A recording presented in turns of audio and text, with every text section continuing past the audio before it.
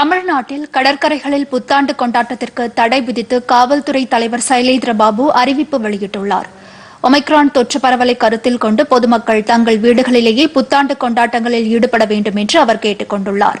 December முப்பத்து ஓராம் தேதி முதல் இரவு முதல் ஜனவரி ஒன்றாம் தேதி காலை வரை பேருந்து ரயில் உள்ளிட்ட பொது போக்குவரத்தினை மட்டுமே பயன்படுத்தி மக்கள் ஒத்துழைப்பு வழங்க வேண்டும் என அவர் அறிவுறுத்தியுள்ளார். விபத்தில்லா புத்தாண்டை வரவேற்பதற்கு ஒத்துழைப்பு தாருங்கள் என்றும்.